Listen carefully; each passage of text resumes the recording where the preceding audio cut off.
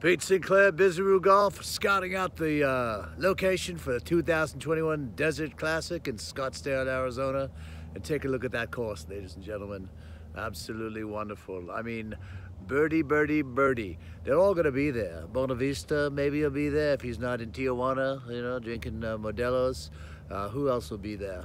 Uh, uh, Stone Mill will be there, Castleberger. Who knows? Maybe we'll see Steve Green. I don't know. But anyway, they're all going to be there, and uh, perhaps, uh, perhaps you ought to be there.